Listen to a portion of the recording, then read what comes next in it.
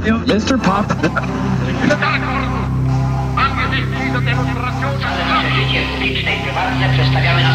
tory. We are at war. Over and over again, we have tried to find a peaceful way out of the differences between ourselves and those who are now our enemies.